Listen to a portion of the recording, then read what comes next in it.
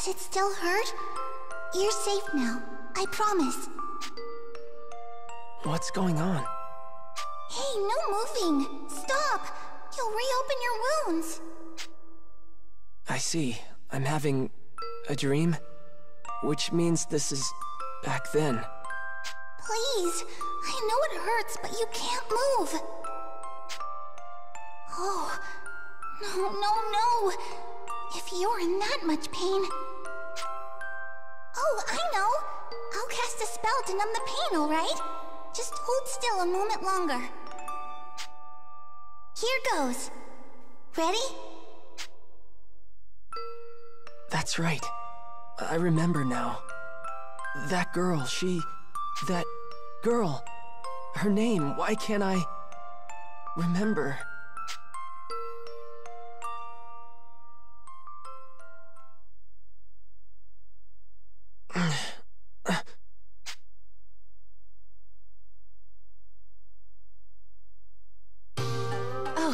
Your Radiance. You're awake. Wh where? You're in Marga, Your Radiance. The royal capital of Astoria. I see. And you're a... Kirika, right? Kirika Toa Alma of Welland. I'm also known as the Diva Magica. Please, call me Kirika, Your Radiance. Alright, Kirika. Nice to meet you. Diva like a singer, right? That song before. Just what is a Diva Magica? Oh, originally we were translators, I suppose. Divas once acted as bridges between men and dragons, communicating will and whim. When dragons still roamed the world, there was peace. They spoke to us, taught us, sang to us in their ancient rune songs. Though the dragons are gone now, and the skies over Alfheim are empty, we divas still play the songs in remembrance. A new Diva Magica begins training from a very early age, not just to master rune songs, but draconic lore, historical texts. That's how it was for me anyway. I applied myself to my training, but it always felt off, empty. But then I met you, Your Radiance. I always knew you returned to us. That's why I've been studying, playing my heart out, and and now you're really here. Uh, my apologies, Your Radiance. I allowed Zeal to overcome me. Please, if I may serve you in any capacity, only say so. Uh, okay. Kirika, you know I'm not actually the Shining Dragon, right? My name is... I understand, Master Yuma. Perhaps not in fleshly form, but in spirit, you are the Shining Dragon. Okay, I'm the Shining Dragon. We'll go with that. Honestly, I'm just glad to have someone looking after me.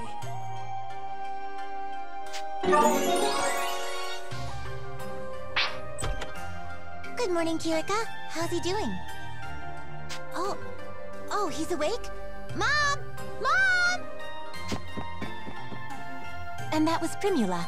Her mother Emma runs this place. Ah, uh, the Seagull Inn, I should say.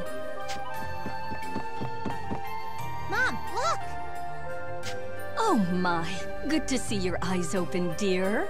You gave us quite the fright when you wouldn't wake up, you know. I... I did?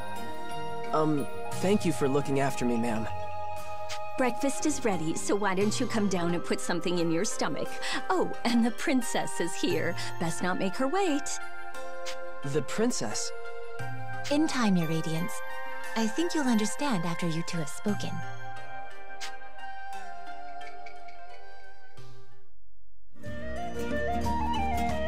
Hey, good morning.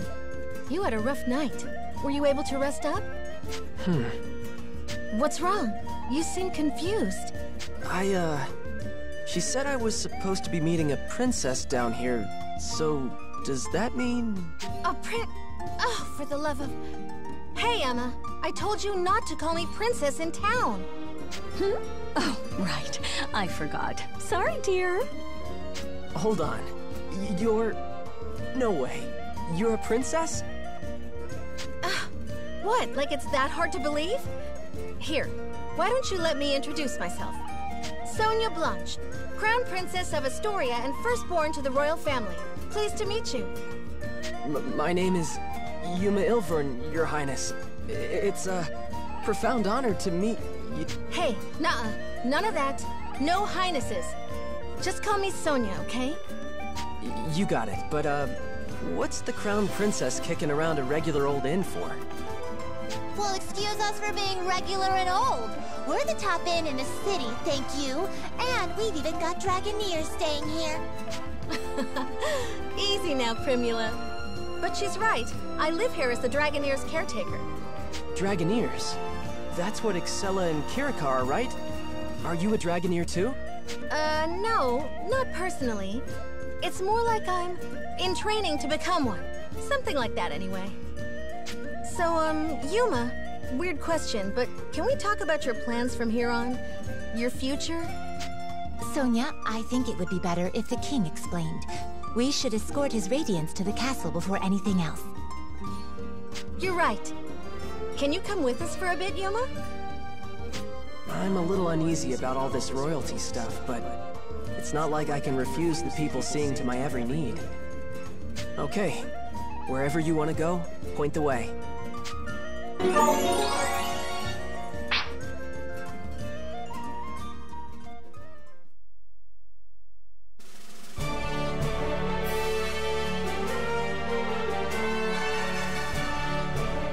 Welcome, Sir Yuma.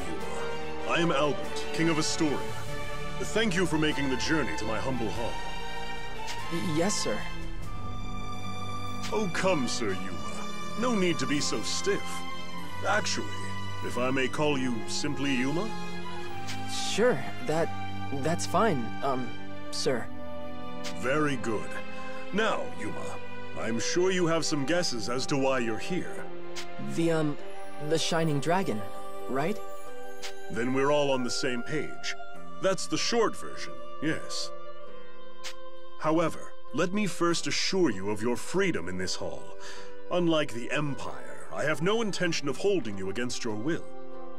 You alone will choose whether to lend us your aid, and you alone will decide what shape that aid takes. That being said, if I may be so presumptuous, I would ask you for a particular kind of aid. The Shining Dragons, if it's yours to give. For nearly a decade Astoria has slowly bent and buckled under the Empire's boot heel. We're locked in a bad stalemate, to be frank with you.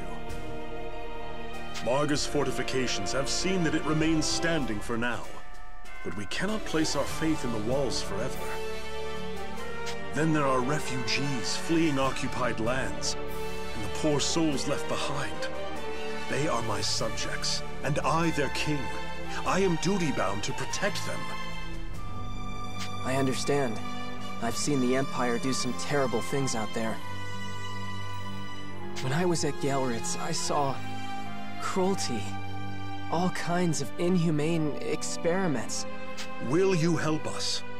With the Shining Dragon's power, Alfheim could be free of Imperial influence. I want to stop them too, I really do. But I can't use the Shining Dragon's power to do it. It... it's too... To what? It's not like he's evil. He helped me and Kirika, remember? No, no, not evil. It's more like... Ugh, then make a decision, why don't you? What does his power even mean to you, huh? It, uh... w- well... Answer me! This is all about you, so why don't you say something? Yeah... If you've come this far just to clam up, ugh, I don't understand you. Sonia, enough. Yuma can hardly make his own decisions when you lay the pressure on so thick. What? No, I, I didn't mean... no, I'm sorry, Yuma. None of that was right of me to say. Please excuse my display. You know I don't mean to embarrass you in your own hall, Father. And Yuma, can you forgive me? I know you have your reasons, so if you don't want to use your power, No, it's okay.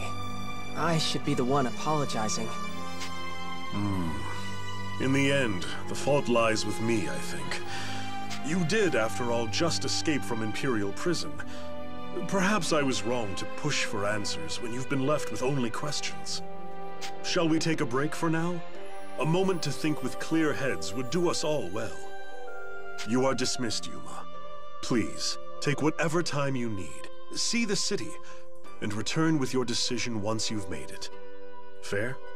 Yes, if you say so, Your Majesty.